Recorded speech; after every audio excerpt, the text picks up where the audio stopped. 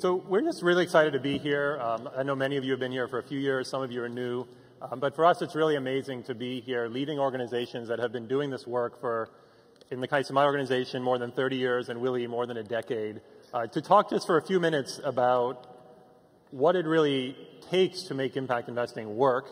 Um, and specifically, we just wanted to talk about three things what we do, what it takes for it to work, and then most importantly, what are we learning from the doing of it? Uh, many of us for many years have been talking a lot, uh, writing, listening, um, but it's a rare opportunity to learn from a doer like Willy, and I'll talk about what my team does as well. Um, my sense is that at, at SOCAP, there's always three kinds of people in impact investing. There's haters who really believe that what we're doing either is crazy or destructive. There are hypers who say that everything about impact investing is amazing, is going to work really simply. Um, and then they're doers. And I really think of Willy as an amazing example of, of, a doer from whom we can learn. And I know you guys have been sitting for a while, so I just want everyone to stand up. And it's really quickly. Uh, if you characterize yourself as a doer, stay standing. Uh, if you're a hyper or a hater or hopefully something else, uh, have a seat. We just want to get a sense of um, who we are. I know none of the haters are going to, you know, coming here and being a hater is like going to Yankee Stadium as a Red Sox fan, which I've done. Uh, so you're not going to own it. But if you're a doer, uh, stay standing. And if not, uh, take a seat. Um, great. So we have a lot of self-described doers. Um, so maybe we don't have a lot to teach you guys, but hopefully we'll be able to uh, share some insights from what we're doing. So just wanted to start, and uh, we're a little bit rushed, um, but really just starting to talk briefly about what we do. I said to Willy earlier that anyone who comes to SOCAP and doesn't know what Willy Foote does and what Root Capital is about um, maybe should do a little bit more research, but he's not as presumptuous as I am. So he insists on telling you a little bit about what he does at Root Capital. Uh, then I'll talk a little bit about what I do at Nonprofit Finance Fund. Uh, and then we'll talk about what it takes to succeed, and most importantly, what it is we've learned from the doing since we were last here. Great. Uh, good morning, everybody. Uh, speaking of haters, my mother, I mean, well, my wife hates the jacket I'm wearing now because it's fake leather, uh, but I've worn it virtually every single time I've been on stage or hung out with, uh, with Antony, so that's why it's here. Thank you for indulging me. Um, super but he excited. left his guitar at home, so those of you who know about that will be appreciated. Excited to be back at SOCAP, and what a wonderful theme, uh, igniting vibrant communities. Just quickly kind of laying out what we do at Root Capital. So we're, we're an impact-first agricultural lender and uh, enterprise accelerator, if you will. Um, we, um, mission is to grow prosperity in rural areas, right, in poor, environmentally vulnerable places, and we do that by investing in agricultural businesses that build sustainable livelihoods for small-scale farmers who often lack, you know, the very basics, clean water, electricity, medicine. So specifically, we lend capital, we deliver financial training, and we strengthen market connections for small and growing agricultural businesses. So we're kind of we're a social purpose ag lender, really the combination of a non-bank financial institution and an NGO uh, that we founded 15 years ago to address the missing middle of rural finance, right? Businesses that might aggregate uh, or serve hundreds or thousands of farmers, but that get stuck in that missing middle, too big for microfinance, too small, too risky, too remote uh, for the banks. And really, we start from the conviction that these agricultural businesses, whether they're a farmer association or a private entrepreneur that's working with smallholders uh, through, say, outgrower schemes or a seed company or an agro-processor, they're an economic engine that drives prosperity in rural areas. Uh, and the challenge is they get stuck in the missing middle so they can't access capital or qualified employees or markets that they need to, um, to grow their operation or invest in infrastructure or merely pay the farmers on time, right? So they, they, are missing out on good business opportunities, and too often they fail to flourish. So we've grown pretty quickly in recent years, um, and a lot of uh, uh, challenges there. Uh, but this year we're on track to lend $155 million to an active portfolio of nearly 300 businesses that um, reach roughly 500,000 farm households across 33 countries. And so, including, for instance, $2.5 million that'll go to four businesses representing 18,000 coffee farmers in the Congo, in the eastern DRC. And so, just maybe to wrap, regardless of how much we lend or where we lend, the larger vision is really to try to catalyze a smallholder agricultural finance industry that serves all 500,000, I'm sorry, 500 million small scale farm households uh, in the world. And we'll do that by um, demonstrating business opportunities in the countryside with many others and crowding in competition. And this is a more recent thing and awkward but very powerful. Working with our peer institutions, aka our competitors, to blueprint this nascent industry of, of smallholder agricultural finance and create the kind of standards and best practices that will underpin a thriving agricultural finance market that, uh, that is stable, that's sustainable, that's responsible, that's inclusive, um, hopefully that, you know, that, that ignites vibrant communities. Great. So what Willy's been doing for 15 years at Root Capital, which is really combining capital and expertise to unlock the potential of his clients, who are these cooperatives and other organizations that are enabling farmers to get the most value out of their work, is a real parallel for what we at the Nonprofit Finance Fund have been doing for 34 years here in the US where our clients are nonprofit organizations. They are health clinics, homeless shelters, soup kitchens, charter schools, uh, performing arts centers, all of whom similarly are being hampered by their inability to access the right combination of the right kind of investment capital and the expertise that they need to run their organization as an effective business. And so we began in uh, 1980 in New York City, and you probably figured out that I'm young enough that I, uh, when I say this, it's with a bit of a wink, but I always say, you know, you remember in 19, the late 1970s that the oil price had spiked. Um, I don't, but I think some people in this room do. Not too many people, though, looking out. Um, but the oil price had spiked in 1970, and a lot of the old homeless shelters and settlement houses in New York City were built in the 20s and 30s by the first wave of philanthropy that had come to New York. And those were old, hulking buildings that were incredibly energy inefficient. In 1980, they came to their funder, the New York Community Trust, who had funded them for years, and said, Our heating oil bills have gone up. We need a bigger grant to cover our increased costs.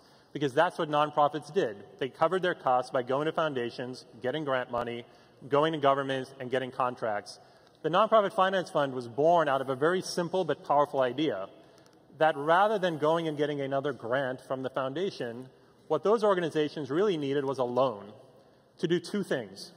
Put a new boiler in their basements that could be more energy efficient, and put new windows in the buildings that would trap their heat. And with that loan, they would be able to reduce the amount of heating oil they needed to the extent that they could repay the loan and end up with a better capitalized organization. That's a really simple idea. And now we call it green retrofit finance, and everyone's excited about it. Back then, it didn't have a name, but it was something we started doing. But it was also a really radical idea because the premise was that a nonprofit organization could access finance and think of itself as a business that had revenues and cash flows that could ultimately support a loan. And that's the idea we were born out of in 1980. Um, and since then, we haven't grown as quickly as Willy has, um, but we've done about $320 million worth of lending. We've made 700 loans, never lost a dollar of our investors' money, um, and last year lent across the country to a wide range of organizations pursuing that basic understanding that as a nonprofit organization that's mission oriented, you don't need to be excluded from the capital markets and from the opportunities that investment capital has. And on the other hand, as investors, are the people we borrow from, who we are paying back, have bought into the idea that they can make investments that support both the social purpose they care about as well as their financial return. So that's what we do. Um, and Willy and I, over the years, have had many conversations about the surprising parallels between our work, despite it being on the face quite different in terms of the kinds of clients we fund and specifically where we work. And so we just wanted to talk briefly about what have we learned from all this doing, about what it takes, and what does it take to make this work, and why can it be powerful? So, yeah, for us, um, success factors maybe uh, we could go into, I think, a whole host of success factors about our own shops that for us would be, for instance, embedding deeply in local talent and local markets and local culture, uh, being as close as possible to your clients, um, building deep industry expertise. But I want to share, I think, the most important point that's relevant for a SOCAP would be the following that for us, success has been all about identifying the early stage agricultural businesses that have um, huge potential for impact, economic, social, environmental, but that face a ton of challenges that, if addressed, they become an engine of prosperity for countless uh, uh, rural um, kind of households. And the, the, the challenges are, are daunting. If you take sub-Saharan Africa, you know, governments on average spend 5% of national budgets on agriculture, even though it's the primary economic activity of 70% of the population. So massive underinvestment in agriculture has left the continent uh, in Africa decades behind other developing regions. So uh, as much as anything, our journey at Root Capital has been kind of a process of continual discovery and understanding of the constraints to business growth and success. And so it's not just at, say, the firm level, weak financial management, for instance, but weak sourcing channels from farmers, dependent on NGOs for inputs and technical assistance, right? Poor infrastructure, um, you know, bad roads, unreliable electricity, crappy cold chain, the usual host of inhibitory laws and regulations and subsidies and taxes. So, in short, it's really tough to serve that lower segment, the lower end of the agricultural finance market. And I would say over the years, and this is probably the most relevant comment maybe I have to share today um, in terms of our, if not success factors, our experience, is that um, critical thing has been not over promising and not overselling that lots of good and lots of deep impact will happen without real risk and cost and even in some cases significant subsidy.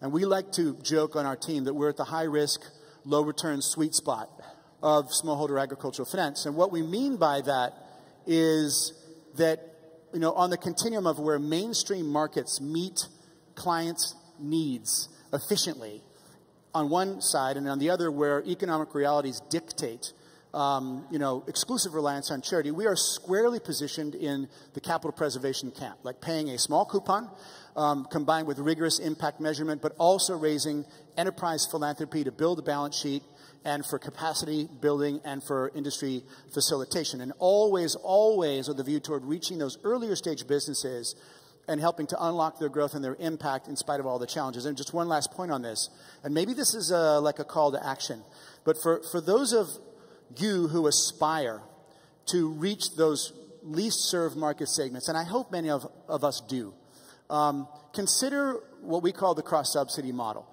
where in our case, we are building the, a pipeline of early stage businesses for ourselves and for the larger industry, um, knowing that those early stage clients are going to be typically loss leaders at first. And then we accompany their growth, right, over time to the point where um, we achieve operational sustainability through a cross subsidy from the larger clients that are profitable to serve. And so we're not maximizing return necessarily at Root Capital, but what we are doing is helping to ensure that this agricultural finance market is inclusive in addition to being stable and sustainable and, and responsible.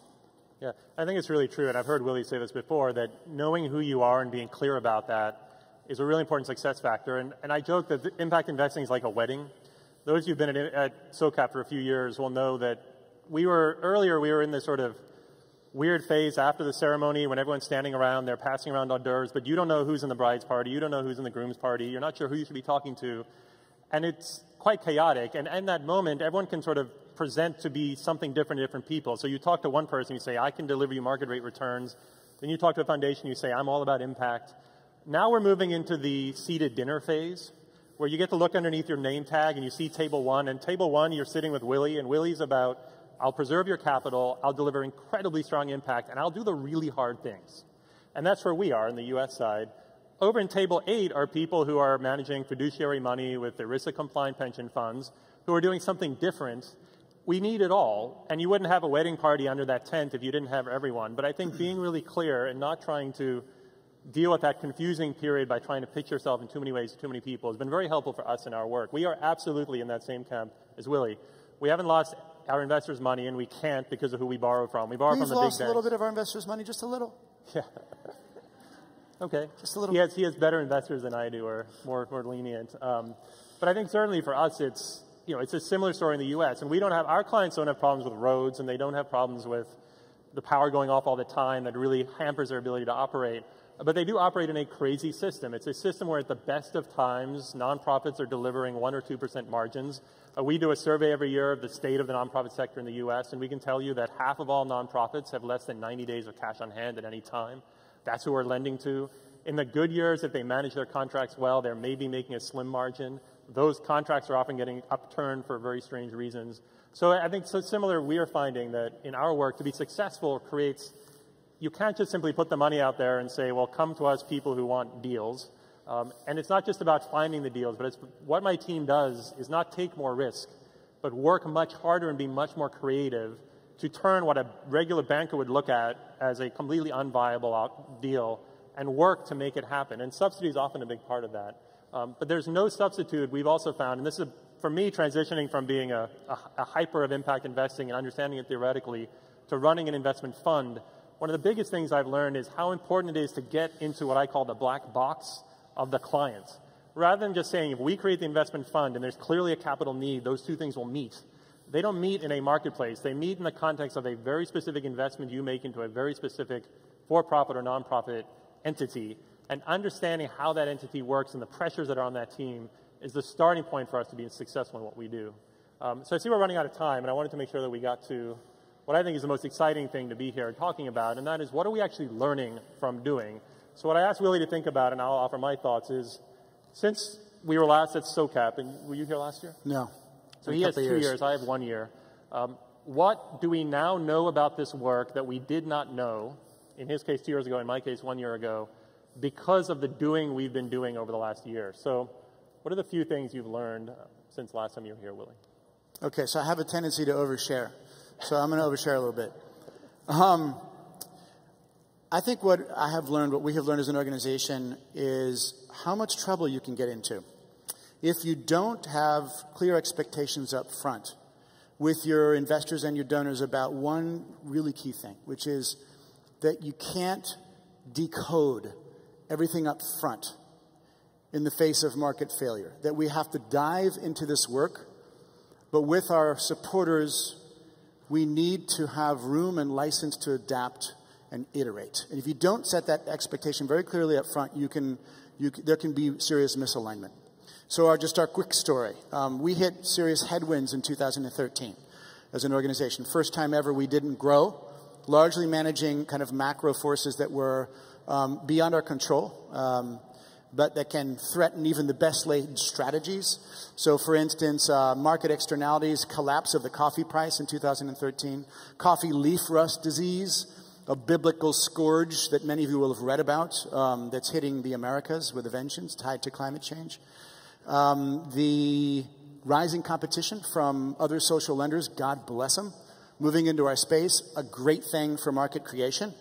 Uh, meanwhile, we had recently undertaken a large multi-year pre-raise of capital for a, a, debt and grant funding for a five-year strategic plan, which was pretty successful, the pre-raise.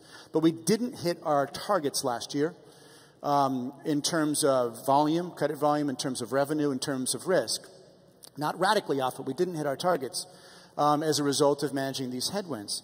And um, some got spooked and, uh, and, and pulled out, even as others kind of deepened their engagement. But the end, our kind of successful pre-raise kind of unraveled. So here's what we did quickly um, right. This is what we did just because I, I don't want my communications person is glowering at me right now. What we did right last year was we very aggressively communicated and shared our learnings throughout uh, the headwinds with our investors and our donors and our board and everyone else. We, um, we implemented lean cost controls, but being very careful not to undermine our productive capability in the field, where most of our team are local Africans and Latin Americans spread across eight regional offices. Um, we focused on voice of customer business initiatives to manage the situation, and I think actually got um, better, much better at um, serving our clients. And then this year, the market, certainly in coffee, uh, the market rebounded uh, and um, albeit with a lot higher volatility in, in the commodity markets in general that we need to manage. And we were there ready and standing by to resume growth kind of together, together with our clients. So two key learnings and I'll wrap. First one, I mentioned it. Again, you cannot decode everything up front, and you really need to have, kind of like in Silicon Valley as a tech company, you need to have the license and the room uh, to iterate and to adapt to changing circumstances. We should have done a better uh, job of setting those expectations up front, and we certainly intend to do that going forward. Um, second key learning, and this is kind of picking up on some of the themes that Antony just mentioned and I'll close here. We appreciate now that impact investing is much more specialized with a lot more segments uh, within it than even just a few years ago. So you've got government agencies and corporates and foundations and religious pension funds and high net worth individuals and family offices and so on and so forth. And with that comes many different theories of change right? Everybody has their own theory of change. And so you have to, and that's not a problem, but you have to be very careful about aligning your theory of change. Even if it's artfully adaptive, but not bleeding into chameleon like, your theory of change with the theory of change of your, of your, of your investors. And so, for instance, finding alignment around, in our case, financial, what's your philosophy behind financial performance? Right? In our case, operating self-sufficiency or OSS or break even is a very key driver of internal operational efficiency, right? and it's an important indicator for achieving a demonstration effect.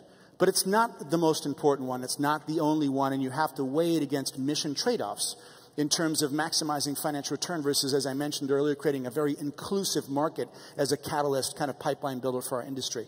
Another one is in our case, we are absolutely in the school of a multi pronged strategy to achieve impact at scale. And, and, so it's inextricably linked. Finance, advise, catalyze, lend capital, build local capacity through financial management training so folks can better compete in global or local markets, and then catalyze an industry, thought leadership, field building, impact measurement, and so on. All three together are the three legs of the stool. My father, by the way, said to me once, please don't call it a strategic stool. um, but nevertheless, but those three together, uh, do you have alignment? Or people like, I don't care about the advice stuff. I don't care about the catalyze stuff. They're, they're inextricably linked. And lastly, within the factory gates, what's your direct service delivery? What about outside your factory gates? Like, what do you do through partnerships? How do you engage at the landscape level? How do you leverage the ecosystem? All these things in the face of what is a multidimensional, very complex thing called poverty. So, what I can promise is this year, um, coming back next year, we will have learned a lot more, and we will unapologetically continue to adapt and to iterate uh, into next year. That's great, and I would recommend. I think Willy and his team are a gold standard in communication, and it's all on his website, rootcapital.org. Um, really great quarterly reporting, and are able to convey both the metrics as well as the stories of what they do. I'll just talk about what we've learned in the last year. Um, I think we've come here, and you're going to hear in a minute about a big policy initiative that some of us have been a part of one of my biggest learnings is the role of government in impact investing. And last year when I was here, I said, don't ignore the role of government because government creates the conditions under which we can operate. I've really come to appreciate even more. It's not just that government creates the conditions, but if you are going to do impact investing, especially in a developed market where you are trying to assess or address issues of real poverty and social inequality and justice, ultimately you are going to be investing in organizations that rely on government funding to pay you back. That's a huge insight that I've had. My team probably had it 20 years ago. But a real understanding, it's not just that we need government to create the conditions of which we as private investors can make a difference. Almost all the work we do, at some point down the chain, we are getting repaid because government is helping to fund a service. It's true in the US, it's even more true in Europe um, and in the developed parts of Asia. So if you are operating in developed markets, let's give you three quick examples. Uh, we've helped finance a 200 bed homeless shelter on 25th Street in Manhattan, a $20 million project. We were able to lend $2 million into it. We are paid back because the city of New York and the state of New York are committed to funding those services. We are ultimately financing government through the financing of a nonprofit. Um, just south of here in Los Angeles, we've been financing an amazing charter school that sends a huge percentage of kids, not just to college, but gets them to graduate from college out of a high school they've set up. They needed money from us to rehab a building and start their new school. Ultimately, I'm going to get repaid when the state of California provides that charter school with the revenues they need to do the education and pay us back. We see this in sector after sector. There's a health clinic in rural Hawaii serving a population that previously had no access to primary health care in their community. We were able to make that loan, help that facility get started. Ultimately, it's government, Medicare, and Medicaid payments that are going to make that happen. So government and the role of government. You cannot be an impact investor and make a difference on real issues of deep poverty and social justice and inequality in a developed market if you do not get really smart about understanding and supporting the flows of government into your, into your borrowers. The second thing we've learned, and again, I think the investors in this room with more experience than me would say this is a no-brainer, uh, it's about the management team. When I'm trying to get, I just, we got a $3.5 million loan approved through our committees, and the loan is going to enable an amazing nonprofit to take a state contract um, and massively expand this delivery of healthcare into a certain population in the state they operate. To make that happen, they have to go from a 700 person team to a 1,400 person team, and that's what they needed the loan for. They needed upfront money to put in the IT systems, the recruiting practices, and get that engine going. Ultimately, I only got that loan through my committees because we were able to convince the committee that we absolutely believed in the management team of this organization. If you are not backing management teams, then you're backing real estate collateral, and you can do some great things, but ultimately, to do amazing work as an investor, you have to understand the management teams. And the last thing I'll say, and we've been told to wrap, is my biggest learning last year, and I think Willy certainly knows this is true, um, this is hard. And this is why I think the, the hypers out there are constantly looking for information that affirms their hypothesis that this is easy and inevitable. Uh, and the haters out there look at any kind of hiccup and say, see, we were right, this is impossible, you can't do it. Um, the main thing I've learned is that this is just really hard to do, and there's lots of ways. Elizabeth Littlefield was mentioned earlier at OPIC. Um, she has a great line. She says, you know, there are a lot easier ways for me to make money. I do what I do. At the simplest level, what we do, we do because we aren't the kinds of people who are trying to do the easy thing. Um, that's easy to say, and it's a lot harder to live with. You know, I think Willy talked about Root Capital doing cost alignment. I mean, that's a euphemism for an absolutely traumatic and emotional thing that goes through an organization that is trying to do something hard. Um, and it's not about, you know, you feel like you have a failure of leadership, but what we do is really hard. Um, and I just learned again, that's why just going back to you know, accept that this is hard. And what Willy said earlier, we are not going to learn by sitting and talking we're going to learn by doing, and doing with a humility that comes from knowing that what we do is hard, um, and what we do is supremely worth it.